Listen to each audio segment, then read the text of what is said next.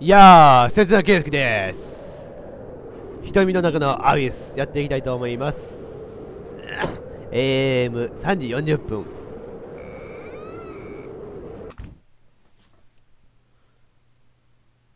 ここだ。前回はここで終わりました。あの、もう片方の小屋の方に行ったパターンですね。ここまで見えるんじゃ。主人公のたけしの足跡が見えます。とても小さな小屋だった。小さく狭い、まさに置物部屋だった。ほんと置物ってぐらいの大きさしかないもんな。足跡は確かにこの小屋の入り口に続いていた。しかし、中には誰もいなかった。あの開かずの窓用、この小屋の中には何もなく、別の部屋があるような大きさの小屋でもない。調べるまでもなく、ここは無人だった。よくわからないが、この足跡と声の主は僕をここへ連れてきたかったようだ。何のために？呼び主がフローラだったのなら、一体彼女は何のために僕をここに導いたのだろう。そして、もし呼び主があの謎の存在だったなら、何これ、どうすればいいんでしょう？ふと気づいたが、この小屋も先ほどの避難小屋同様、妙にも新しい。どうか現実味がない。そんなに新しい。何か、何かをするために新しく作りましたよ的なやつ何それ。吹雪で命を危険にさらされた中、地図にもないのにそこにあった避難小屋。取って作られたような真新しい避難小屋。ずっと考えてはいたが、思うに、こここそが魔女の領域ではないだろうか。いきなり怖いこと言わないで魔女おるってことでしょ近くに魔女。魔女の居場居所は、はっきりとした場所が分かったわけではない。調べたのはフローラだ。多くの見聞に通じていた彼女が現代に生きる魔女の居場所を特定し、僕らはそこのその地へ向かった。そしてここはその道中。目的地にはまだ距離があると思っていたのだが。マジで？魔女の領域しかしこんな辺境で怪奇現象を起こすような存在がそうそういくつもいるとは思えない。ここにいたのはやはり僕らが探し求めた魔女ではないのか。自分を求めて悪路を進む僕らを見て助け舟を渡してくれたのか。すべてが魔女の仕業だったのならいろいろと推定できる。まあそうかもしれんけどよ。そうかもしれんけどよ。フローラは言っていた。魔女はきっと一人で退屈してるはず。魔女は僕らを相手に遊んでいるつもりなのかもしれない。クソ魔女の野郎め。俺らは遊び道具にしか思ってないだろう。フローラは魔女に理解があり、肯定的だった。それはたびたびの言動で魔女に伝わっているはず。魔女はフローラにもよくしてくれているはずだ。きっとフローラは無事だ。そう信じたい。では、このフローラと一緒にいる僕は一体どう見られているのだろう。声がたき。声がたきとか見られとんちゃうか。嫉妬されるんちゃうか魔女に。どうしてこんなことをするのだろう。魔女はこの僕を試しているのだろうか。なんか話がどんどん変わってきたし、なにこれなんかあるなんかある絶対そんなんなかったから。前までそんなんなかったから。ないから階段なんかなかったから。魔法使ったな。魔法使ったな。魔法使って階段作り出したな。魔女め。最近の魔女はそんなまでできるんか。気がついたら地下への階段があった。いつの間にかすぐ隣の床が大きな口を開けていた。嘘だろもう。さっきはこんなものはなかった。ようななかったよ。なかった。確かになかった。どうやら魔女の魔法は本当に何でもありのようだ。この吹雪の辺境に一瞬で小屋を建てることが可能ならフローラの病を治すくなどきっと造作もないことだろう。僕は魔女に期待する。僕が消えたフローラにたどり着くことができればきっと魔女は彼女を助けてくれる。そんな気がする。下に行ったああ、なにこれ無駄なところで階段がもう一つある。この、この空間、この階、意味あったんだろうか。小さな空間。ここも、突貫で作ったような何もない空間だった。その床にはさらなる地下へと続く階段が。ふと振り返って見上げると、さっきまでいた階が妙に暗い。ほんと暗いよ。なんであんなに暗いんや。まるで存在する意味がなくなって消えようとしているかのようだ。嘘。これ以上進むと、もう帰って戻ってこれなくなる気がする。フローラを見つけるまでは戻れない。僕は先へと進んだ。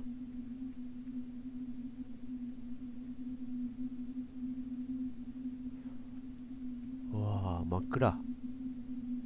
この時間の地下室の材料はどうしているのだろう。そんなことを考えながら足を進める。同じような構造が続くので、どれほど降りたのか、もうわからなくなってきた。そんなに降りたん？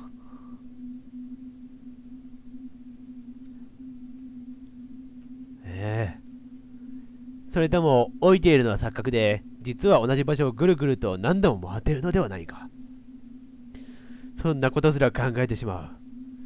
魔女ならその程度のいたずらお手ももとだろう。えげつねえよ。魔女の思惑が知りたい。魔女は本当に僕を試しているだけなのだろうか。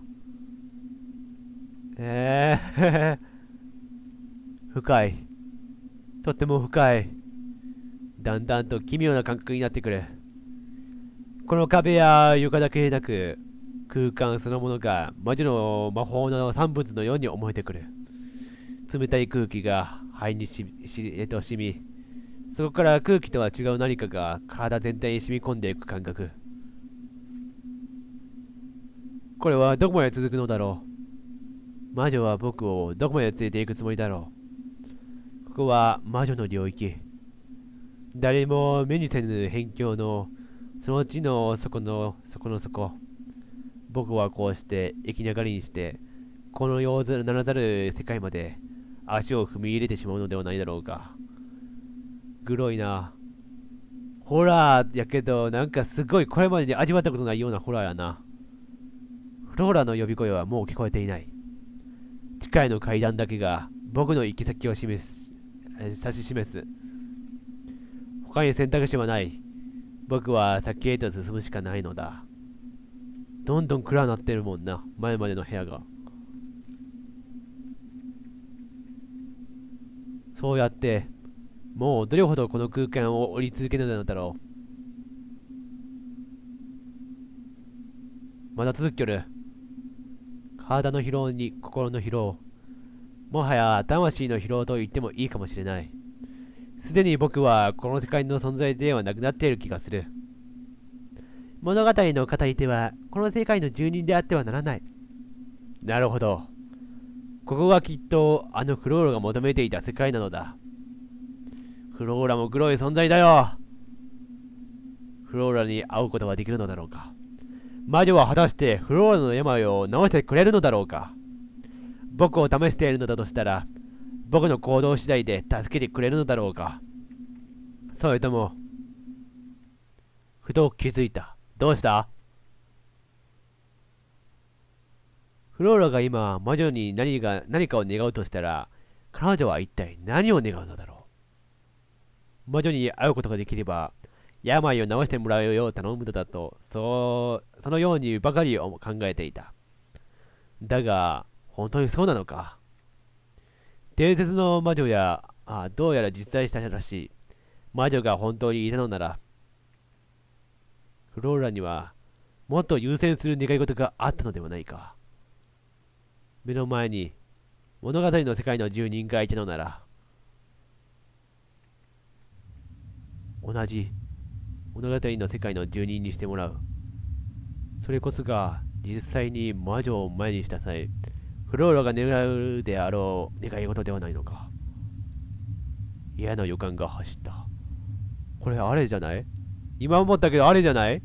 なんかクローラが作り出した物語でさ、なんか村長の娘が魔女に会っとってさ、なんか魔女の元におったみたいな感じがあるけど、絶対これ、その村長の娘がクローラの立場ってことありえるんちゃうん？たけしの考えことことがなんかあっとる気がする。嫌な予感が走った。彼女は物語の世界の住人。つまり、語り伝えられる側の存在となりたいわけだ。物語の読み手側たる、こちらの世界を去って。思えば、彼女は何度も本心をアピールしていた。禁断の魔女。ただの娘が魔女と魔女の虜とかす残酷な物語。箱庭の魔女。魔女が男を監禁し、自分の存在を確立させる物語。きっとそうだ。おそらく彼女の願いは、病を治すことより、ここで消息不明になること。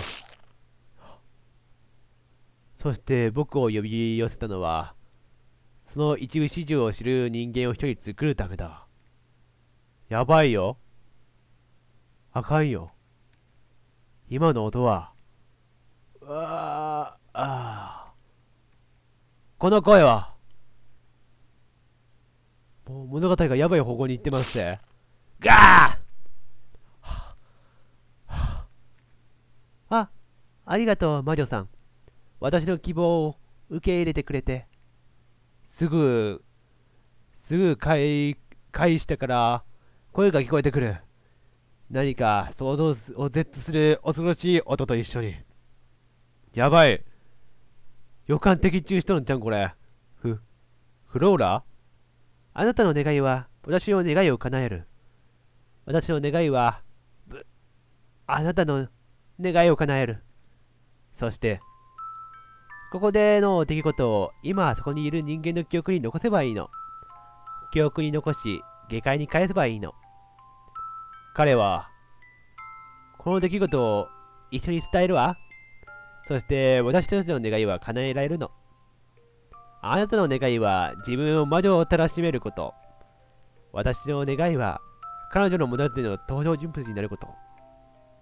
フローラ、本当に考えとった。生還した彼の言葉を聞いて、人々は魔女たるあなたの存在を再認識するの。あなたは再び、おも、えっ、ー、と、恐れ、え歌われるかな？そして、私のこれまでの作品は、魔女の犠牲者がかつて書き残したものとして、消化されるのよ。いびつな世界がさらに歪む。フローラ、君は何を言っているんだ？そして今、君は何をしているんだ？フローラ絶対やべえことやってる。ねえ、聞こえてる？不意に声がこちらに向き、心臓を静かにされる。魔女は、実在するのよ。昔々、会うとこにいた。それは、それは恐ろしい。人食い魔女は、あなただけに見せてあげる。人食い魔女は、ここに。あえ？や、やめろーなぜか、あと一歩のとこで足が進まない。私は、フローラ、魔女の犠牲者。体が全力でそこに行くのを拒否している。それを見るのを拒否している。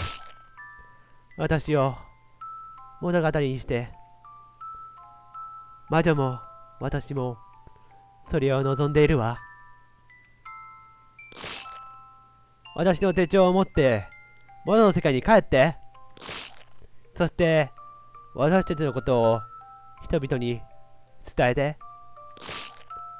どうか、私たちの願いを叶え。脳が死んでいく。僕の知る世界が死んでいく。彼女の言葉は、まるで僕へのレクイエムのようだ。人は生きるための行いの中で本当の自分を見つけるのよ。そんなことを作中作品の中で語っていたフローラ。作家としての生命を終えと終えようとしていた中、奇跡の存在を前にして彼女が見出した己のたどるべき生き方はこういうものだったらしい。フローラ。僕は君にとってただの都合いい伝道師だったのかい？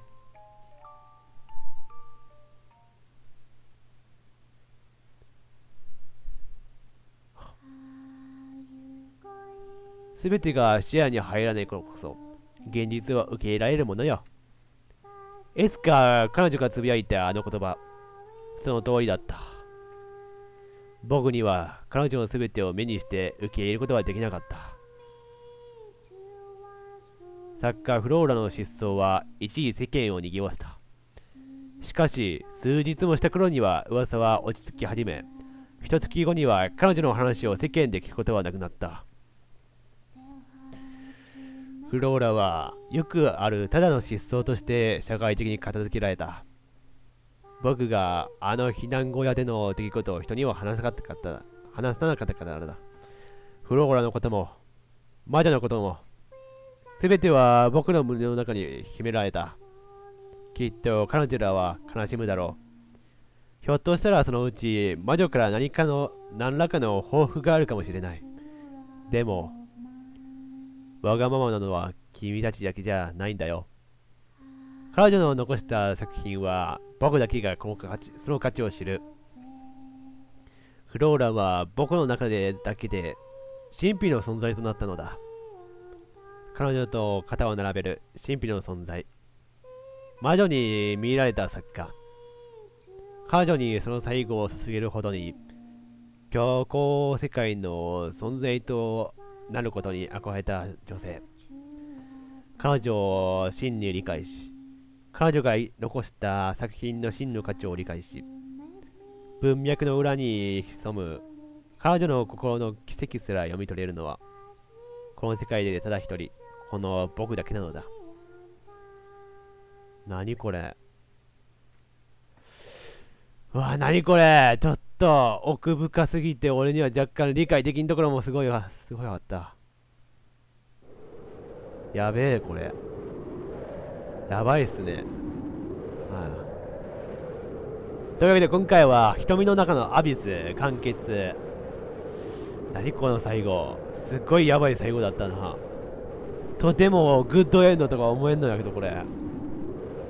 かといってなんかバッドエンドって言えるかっつったら、ジェノサイドエンドだよ、これ。なんかすごいエグいエンドだったな、これ。ああ というわけで、瞳の中のアビス、これで完結。というわけで、まあ、今、このフリーゲーム以外に3作品のフリーゲームやっています。その3作品を集中して進めていきたいと思います、今後は。瞳の中のアビス、楽しんでいただけたらでしょうか。というわけで、まあ、フローラのこの生きていた伝説を、魔女の伝説というよりもフローラの伝説ですよ、これは。まあ、ここでお会いさせていただきます。ご視聴ありがとうございました。週明け